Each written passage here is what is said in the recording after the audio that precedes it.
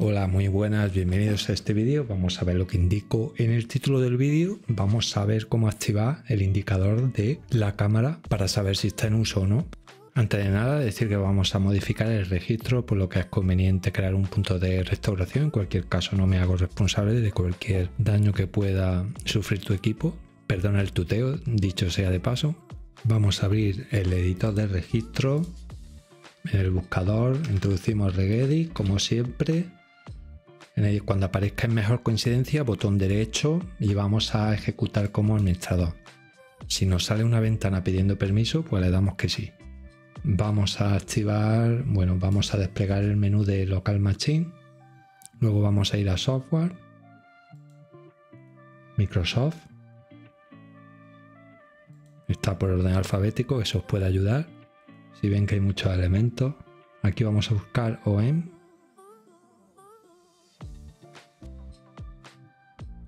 me aquí. Vamos a entrar a Devis. Vale, doble clic o, o simplemente sobre la flecha. Entramos a Capture o Capture. Si se han perdido, aquí tienen la ruta. Tienen que tener este elemento. Si no está, van a pulsar con el botón derecho del ratón. Le van a dar a nuevo. Aquí nuevo, valor de 32 bits y le ponen el nombre de que figura aquí arriba, el de este elemento. Yo ya como lo tengo, pues no lo voy a hacer. Voy a eliminar, que no me líe. Vamos a hacer doble clic y este 0 lo cambiamos por un 1. Le damos a aceptar. Para desactivar este ajuste, pues hace lo mismo, pero pone en 0 lo que estaba. El siguiente paso es simplemente reiniciar. Si os preocupa la privacidad y seguridad, Puede que os interese también saber qué aplicaciones usan la cámara.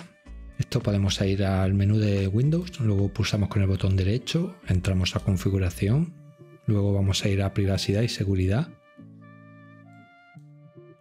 Bajamos hasta encontrar cámara. Aquí podemos desactivar la cámara, permitir y prohibir el acceso a la cámara de determinadas aplicaciones, las que queramos. Podemos ver el último acceso que han tenido las aplicaciones a la cámara, actividad reciente.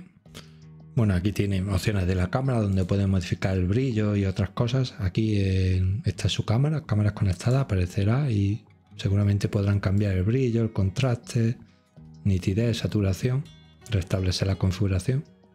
Aquí otra opción muy interesante que sirve para iniciar sesión con nuestra cara, por la cara, pero bueno, eso se escapa ya del origen del vídeo, así que lo voy a dejar ya.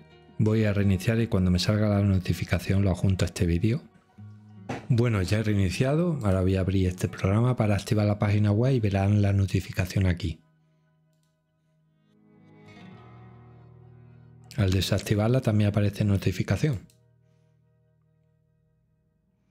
Bueno, pues eso es todo. Espero que os haya gustado, que tengan un buen día y sean buenos. Chao.